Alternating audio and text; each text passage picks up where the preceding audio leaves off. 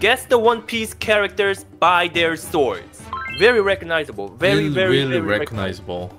I don't think I know this one, even though I, I might have seen this one, but I really have no idea. Answer is oh, Oh, Ice and Whip. wow, okay. The next question. It's really long. I wanna guess this time. A Whitebeard? This is not Whitebeard. This character debuted in a movie. I believe it's movie 5. I don't know this. This one is Shichiseiken, who uses this sword. It doesn't look like a uh, katana blade. It have a really unique, iconic blade.